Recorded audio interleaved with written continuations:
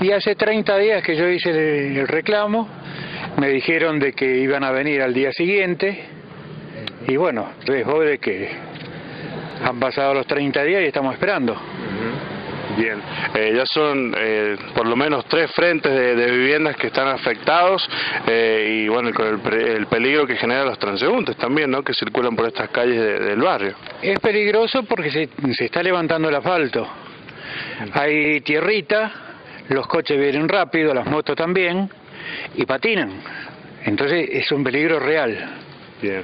Y eh, los frentes de las casas muy cerca de las calles también, de, de la calle. Vamos a amanecer un día con un auto, una moto dentro de la casa. Bien. Eh, la dirección precisamente de, de este pozo.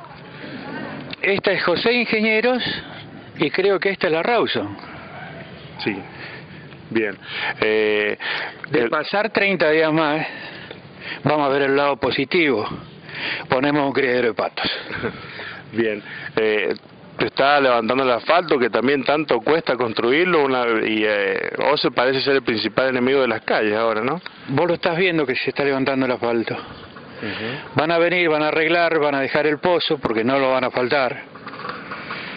Pero bueno, afortunadamente estamos cerca de las elecciones. Ahí es donde van a aparecer con el asfalto. Bien.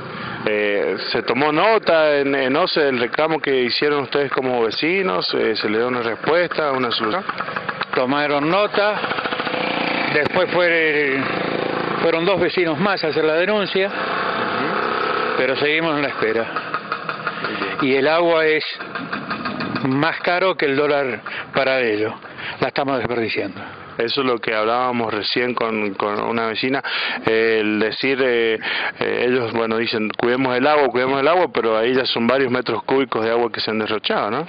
Son varios cientos de miles, porque no te olvides que no es solamente esto, tenemos en la Juan José Bustos varios puntos de, de Caucete, que hay roturas de caño y nadie se preocupa.